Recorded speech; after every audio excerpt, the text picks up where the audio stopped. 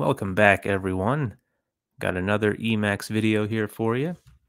This is a an ideal topic for an Emacs beginner here. If you've just opened up Emacs and you're curious about moving around, well, it's a good thing to know because you want to get around a nice big juicy chunk of text here that I've got. I've pasted this over from uh, Frankenstein, the novel, which has these really huge paragraphs. And it's a great big piece of text to jump around and uh, and demonstrate here how to move around in Emacs. So you see, with just a few clicks, you can really jump around a document. I'm going here up to the top, all the way down to the bottom. And you see here it says bot. You know that means bottom. It's giving you your your position there. You can jump up by paragraphs. There's a lot of things you can do and you know this is something that you'll customize over time. And uh, i'll say from the beginning here i'm not using the popular evil mode which brings in the the vim key bindings that people like to use that can keep you on your on your home row the h j k and l keys and things like that. Um, i'm um, you know i'd like to try those out one day but i'm still at a point where i want to you know just learn emacs uh, keep learning emacs from the, the, the base keys that it gives you. You know, try and keep a, a simple configuration and not require too much. Uh, so I'm still using the, the default Emacs keys that we're going to be talking about here today. So the good thing is, so I'm here in uh, in Mac OS today, and of course you could be on Linux or Windows or something else. But if you um, if you are in Mac OS, there's a few problems you might notice. Uh, one thing on the MacBooks is that you only have a control key on the left side. So, so that is uh, so I actually using using Emacs on a Mac is not preferable for me because you really you really need to have your control keys on either side, you know, and you'll get your your Emacs pinky involved and all that. But um, but I actually I have a full keyboard right now that's plugged in, so I can use it everything just fine. So so I'm starting here at the top. Of course, the, the basics, uh, moving down by lines. The good thing is, by default, Emacs will have these keys mapped to your, your keyboard's arrow keys. So you won't really need to worry. You can just use the arrow keys to go, you know, forward and, and, and back and, and up and down.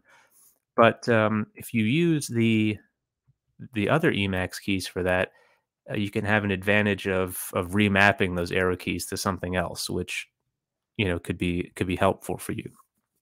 And I'll also just say um, the the moving around that I'm doing is stuff that I that I use most often. So it might not be it might not be the way you'd prefer to do it, but these are what I found that be the, the movements that I get the most use out of.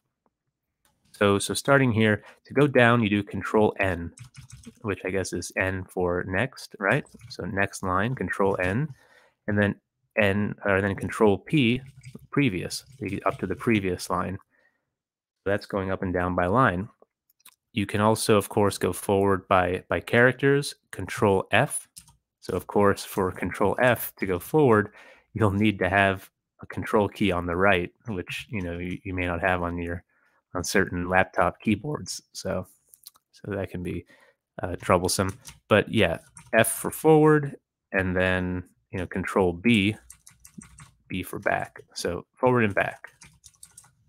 Pretty basic, right? So another thing you can do, which is really cool, is moving forward and backward by words. So this will be uh, the Alt key, Alt F forward, Alt B back by words word by words. And uh, what I did there was Control A. It goes back to the beginning of the line. Control A, and then the end of the line. Um, oops, wrong one. Control E is uh, end of the line. Control A, the beginning of the line. And so what I just did there, sneak preview, Alt F, uh, probably not not Alt F, Alt E, pardon. End of the sentence. Alt A, beginning of the sentence. Uh, but watch what happens when I go down here, though. Alt E, end of the sentence. Oh, it jumped me all the way down here. Uh, but there's a there's a, a sentence break right here. Uh, so this is a setting in Emacs where in order to to recognize a sentence, you have to have two spaces after the period, and then you can use this feature of beginning of sentence, end of sentence. Uh, that is a setting that you can customize to turn off so that it'll treat a regular sentence like this one with only one space as a sentence so you can use this feature. I, I didn't bother to customize that. I've just gotten used to doing double spaces now uh, because I actually I think that's um, I think it's it's easier to read in some ways. So I I don't mind doing that. Um, so there, that that's jumping around by sentence, which is convenient. And um, another one, jumping down by paragraph. Pretty interesting, right? So that is Shift Alt and uh, left bracket, right bracket. Left bracket goes up, right bracket goes down with with Shift and Alt selected. Um, and I get um, I get so much usage out of that one. I've mapped it to the up and down keys, the up and down arrow keys, so I, I can jump down. Um, I think this is a different function because you'll see it's dropping me into the paragraph. Let's just see. Uh, Control H, uh, Control H K. Uh, oh yeah, so I have bound org backward. So that's that's a different function, but it, it does uh, it does something similar. But, um, but yeah, so you have that option as well. Okay. So, so that's going up and down by paragraph. Another interesting thing is, let's say you're you're in the middle of the document here. We're about halfway, um, halfway through this, uh, all like all the text that we've got. So you can use Control L to sort of move the screen around points. So now see we're at the middle. If you hit it hit it again, it brought more up from the bottom. If you click it again, it brought more down from the top. So that, that that's kind of this is something that I haven't used a lot, but it's it's it's interesting. If you just want to leave your your point or your cursor uh, stationary, you can actually move the document around you. So right here in the middle, you want to see a little bit toward the bottom or a little bit on top. Uh, that's an interesting one that um, that you could probably think of some some ways to use. I haven't used that one very often, but I think it's interesting. And of course, uh, as you saw before, you can go all the way up to the top and all the way to the bottom. I have that mapped to my left and right arrow keys because sometimes I just want to, you know, i am proofreading or I'm jumping around. I just want to start over again from the top. Just hit, I hit that left key and it will take me up to the top. Uh, I'm trying to remember uh, what the functions were for that to begin with. Let's see really quick.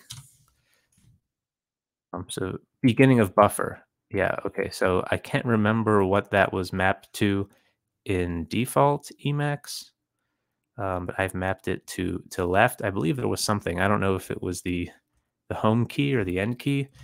Uh, there was something. So okay, yeah, those work. So home takes you to the top, and takes you to the to the bottom. So so there you go that is how I like to move around in Emacs. And if you have any of your favorite, of course, uh, be sure to leave a comment and let me know. And smash the like button, smash it several times, um, and uh, and have some have some fun moving around in Emacs. Thanks, everyone. See you next time.